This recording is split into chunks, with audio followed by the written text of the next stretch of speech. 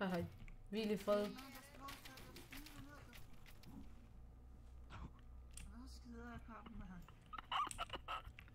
Hvad skal du skide, mand? Lad være med at komme op. Hvorfor fanden slår du mig? Er du syg i hovedet, mand? Nu skal jeg sæt med med nakke dig lige i ansigtet. Du skal ikke slå mig, mand. man sparker til Hvad? folk. For satan det, mand. Oh my god, Victor lortet. Der er en, der gider åbne garagen.